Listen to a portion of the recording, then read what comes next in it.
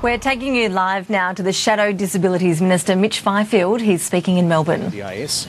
They also bring with them the funds that they currently allocate to disability services in their states. It's very important that the Prime Minister views the Premiers as partners, uh, that she doesn't follow the example of her Treasurer, which is to attack the Premiers, for the reason that there can be no NDIS uh, without the agreement of the states. Now, the Prime Minister has talked a big game in relation to the NDIS, but she failed to deliver in the budget in May. Uh, at that time, uh, she uh, committed to $1 billion, uh, not the $3.9 billion that the Productivity Commission said was necessary uh, to kick off uh, an NDIS over the next four years. So I can understand why the Premiers are asking the Prime Minister how she intends to fill that gap.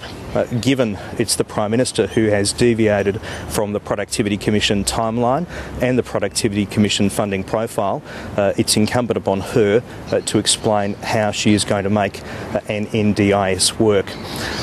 I do hope that uh, at the end of today uh, we don't see uh, merely a series of mates agreements with Labor states.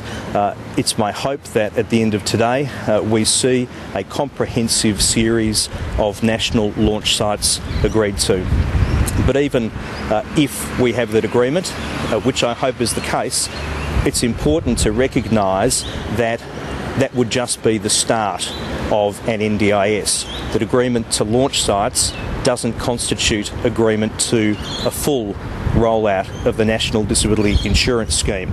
So, assuming the best and that there is agreement today, uh, the Prime Minister will still have to explain.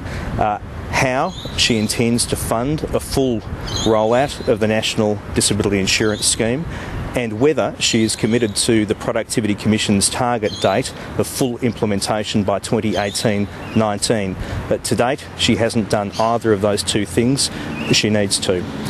For the part of the federal opposition, uh, we think that an NDIS is so important uh, that it needs to be elevated beyond partisan politics, uh, which is why Tony. And we'll leave Senator Fifield there. We're going to take you now live to the Treasurer, Wayne Swan. Mr. Fifield continues on Multiview. If you'd like to continue watching that, just press red. Here's the Treasurer, though.